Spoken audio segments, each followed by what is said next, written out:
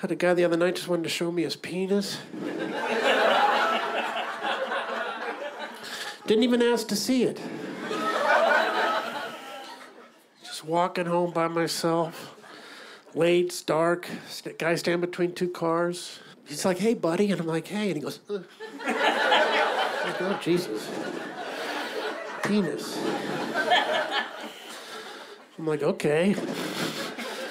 Now what? My friend said, Did you kick his ass? I said, His penis was out. I'm gonna fight a guy with a penis out. Right? What if it goes off?